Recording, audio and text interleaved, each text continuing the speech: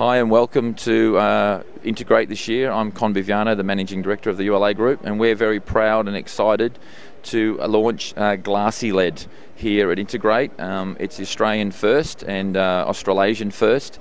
Uh, Glassiled is a member of uh, the AGC Group, the world's largest glass manufacturer, and um, what we've done is, is we've uh, embedded uh, a Nichia uh, LED with 100 millimeter spacing um, in between the glass, the laminated glass that can be used to clad buildings. So it's rather than being an additional LED mesh that you would put on the outside of a building, it's now part and parcel of the glass fabrication, which will also give um, all of the the solar and um, other heat ratings and other things required for all the, the, legislative requirements for construction.